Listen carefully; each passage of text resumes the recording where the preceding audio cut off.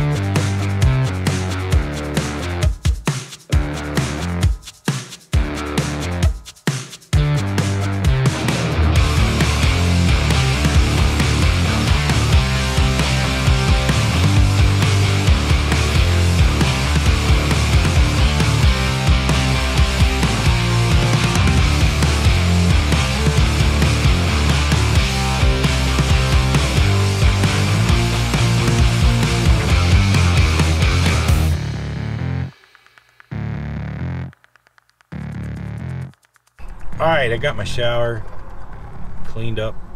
I'm over here parked in a tucked away over here at the Walmart in Albert Lea, Minnesota. So that's Walmart right there. And we're actually here. Let me look. You can look in the mirror. We're backed in. That's the end of the road back there. So we're backed into the little hole right here. And then the laundry is right down there. So I'll get my exercise. I'll walk down there to the laundry and then Walmart I'll go stock up over there. But uh, this is usually where I hang out. So I'm not on Walmart's property so they don't get mad and I'm tucked away at the end of the road so it should be okay. Ah uh, that's it. Uh, tomorrow we go load. So we're gonna leave early in the morning. I'll run over I'm gonna get a cup of coffee and then um, we'll head up to uh, Minneapolis. We're gonna try to leave early in the morning and then uh, beat some of the traffic up there. So that's the plan. I'm watching there's a truck driving up here. See where he's going. See a truck right there. But uh, anyway, all right, that's it. Talk to you later. Thanks for watching.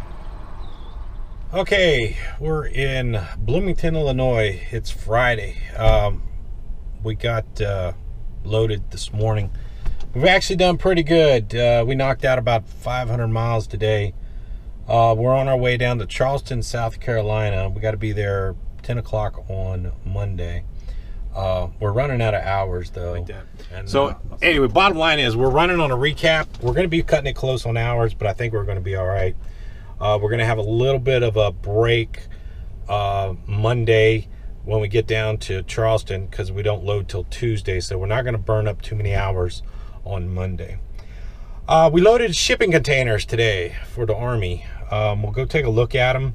I don't think I've ever hauled shipping containers with you guys. Um, they're pretty easy. Uh, two chains at the bottom, and then I always throw two straps. So uh, let's go outside. I'll show you, and we'll talk about it a little bit.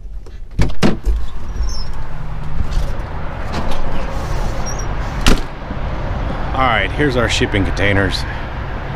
Um, this one's 15,000 pounds and that one in the back's about 5,000 pounds. Um, so I'm a little heavy on the front here, but we're all right.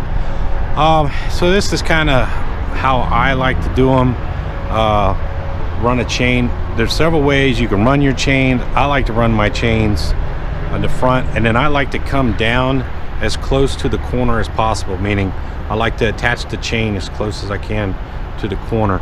I see guys run them back here, and that's okay. It's just I like it when it's uh, down on the corner like that and then put a ratchet binder in the middle and then uh, we'll throw two straps over it like this here.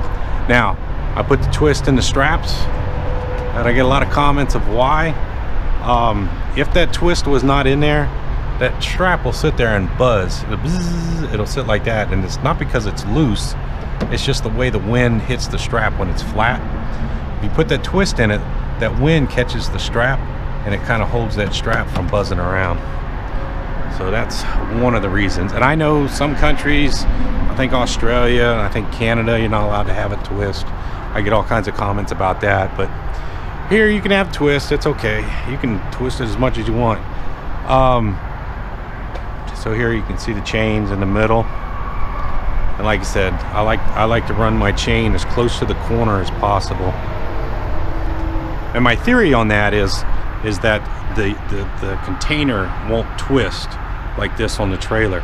I think if you run your chain further back, the container will have a tendency to want to twist. That's my theory. I don't know if it's true or not. Oh, we're at a TA truck stop. That is I-55 right out there. That's uh, north and that's south. So, uh, we started our day super early this morning. So uh, we got uh, we got done early today. We're out of hours. We had like 22 minutes left on our clock for today. There's a, a good looking Peterbilt right there. Good looking Peterbilt. So we'll walk over here, take a look. But uh, so anyway, today went pretty good. We knocked out about 500 miles, and um, tomorrow we're gonna do about another 500. We're gonna try to get down to Knoxville tomorrow. That's the goal. And then uh, from there we'll have about 350. From right here we got about 900 miles to go down to Charleston. So we should be okay. All right, we'll call it quits. Talk to you later. All right, we're in Oakwood, Illinois at the Love's Truck Stop. Uh, we made it to Bloomington, Illinois last night. We left this morning. I stopped here to get some fuel and to uh, fill up my DEF tank. If you look right where that air land truck is, you can see how much room is right here. There's enough room for me to swing around and fill up my DEF tank. Plus it's Saturday morning, it's not too busy. So, uh, topped off the DEF tank. I didn't buy much fuel because Illinois fuel is expensive. But I bought enough to make it down to Tennessee. I put 100 gallons in. Make it down to Tennessee and we're gonna make it down to Knoxville tonight. Right at just north of Knoxville at a TA truck stop. So we got enough fuel to get down there. Once we get down there, we'll uh, we'll top off the truck there. We're on our way to Charleston, South Carolina. I got to stop somewhere today and get me a shower. So when I stop to take my uh, 30 minute break, and I have a lot of of uh, loves I've been buying a lot of Love's fuel lately. Not by choice, it's just the way it's worked out. But uh, I'll stop at a Love somewhere and get a shower. There's a Love's, pretty good sized Love's in Kentucky on the other side of Louisville there on 64. So we might go down there. And by then it should be enough to take my 30 minute break and then that won't put us too far away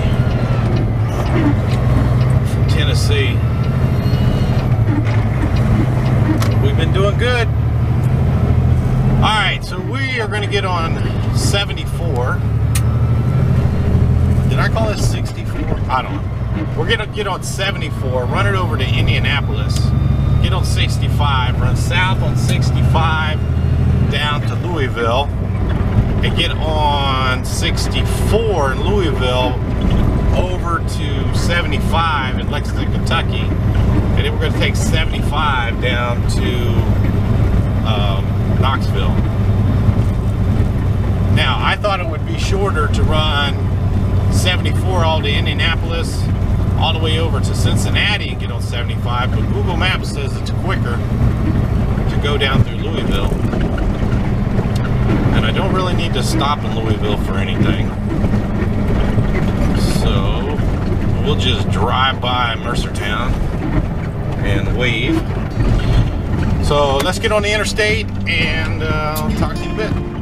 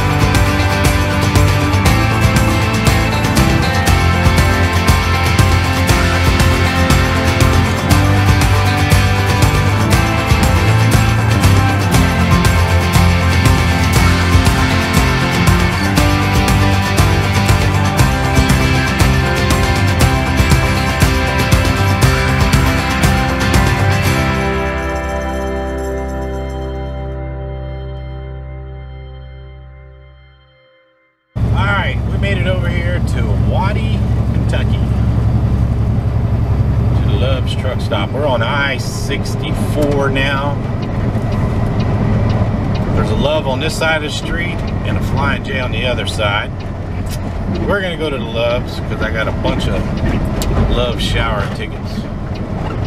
From right here, we got about 170 miles to uh, where I want to get to tonight, which is over in Pioneer, Tennessee. There's a TA truck stop. It's only been there a couple years. And it's not real big, but it's a pretty good size. Um, it's Saturday, so, and we're gonna get there about, probably about six o'clock. It's Saturday, so there should be enough parking. Traffic go by here. There we go. So there should be enough parking when we get there.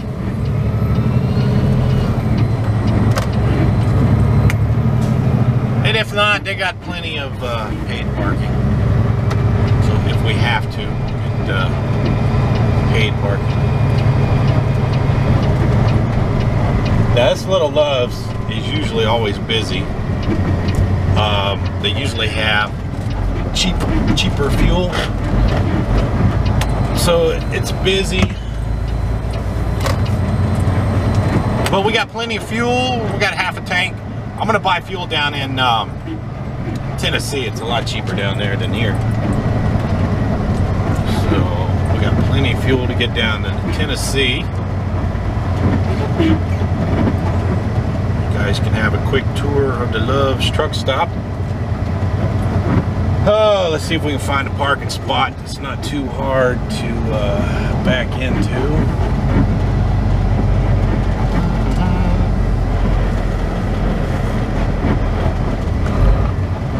Let's see here. Ah, we'll get some exercise. Let's go down here. I was gonna park in that one there, but we'll get some exercise. Park one of these spots. Walk.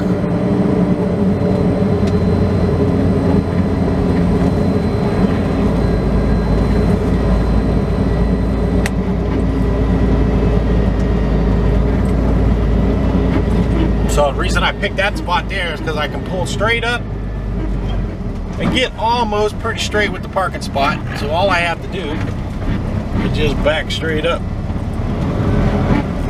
And it's like I said before, first rule of parking is park in the easiest spot.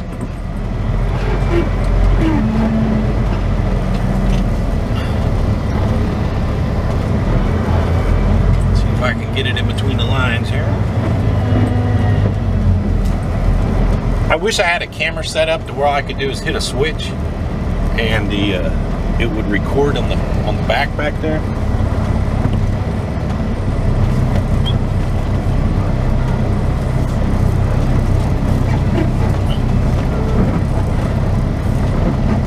And I have looked for something and I can find a uh, like a uh, rear camera mount, but it shows the lines like on a car. But I wish I could have a, a setup like a, that I could just hit the button and it'd record. All right, that's it. Um, let's go ahead log off duty. Take our 30 minute break. Idle up the truck, let it cool off a little bit. Go get a shower. Talk to you in a bit.